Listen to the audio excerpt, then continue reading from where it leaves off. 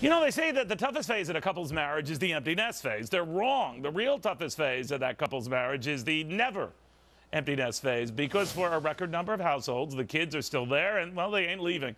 More than one in three are still with mom and dad, and these ain't just kids out of college. These are up to 31 year olds not venturing out of the nest. That's a lot of Normans in the basement. Hadley Heath says this confirms just how psycho this horrifying recovery really is. But Michelle Fields says it's actually an entitlement issue. Um, all right, Hadley, let's get to you first. Well, what do you make of this first off, and what's driving it? Well, there are a lot of problems packed into one here, Neil, and the statistic about a record number of youths living with their parents shows us some things about this economy. When it comes to unemployment, for example, unemployment is really a crisis for my generation. About half of the unemployed people in the United States today are under 34.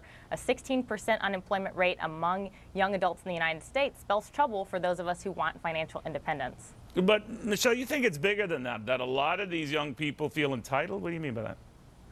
Well, look, I think the economy contributes to it a lot, but I also think there's something that a lot of people don't want to talk about, which is that a lot of our peers do feel a sense of entitlement. They feel that certain jobs are beneath them, that they would rather live in their parents' home or go hide in graduate school with student loans than take a job at McDonald's or go work at Quiznos. They feel like they are above those types of jobs. Yeah, but you know, there are a lot of kids who uh, they're in kind of professions that don't pay a lot. You know, I mean, uh, and and uh, that's not their fault. I mean, that these are jobs that don't, that don't pay a lot, or, or social-related service jobs that don't pay a great deal.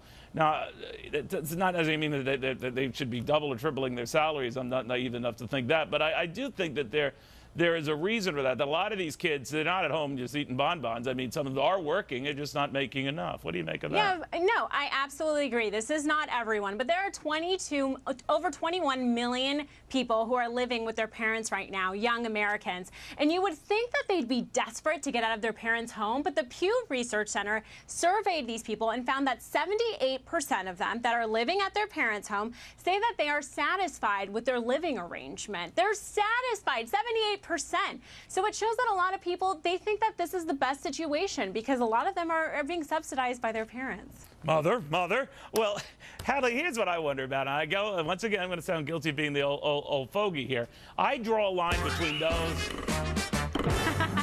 you know, I hate this because for some reason it makes me look overweight. I have no idea. Um, but Hadley, I, well, the one thing I, I, I, draw a line between those who aren't working, doing anything, or even trying to find a job, and those who have a job, and and they're, they're doing the best they can. And and I'm I'm I'm wondering whether that is basically our economy or part-time workforce, the kind of stuff that came out in the employment data today, where, where a lot of employers just don't feel confident enough in the economy to keep workers on very long or to make them full-time or to pay them much when they do because they just think it's still risky.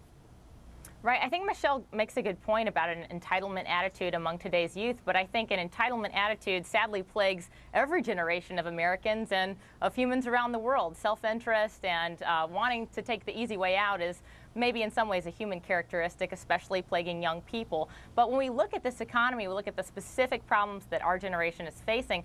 For example, dealing with an economy that uh, is undergoing a major shift, trying to cope and prepare for the health reform law that was passed in 2010.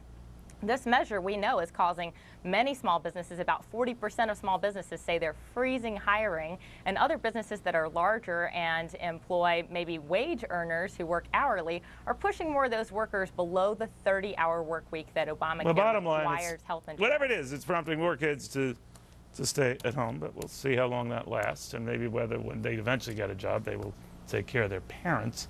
It's a whole other issue. Guys, thank you both very much. Thank you.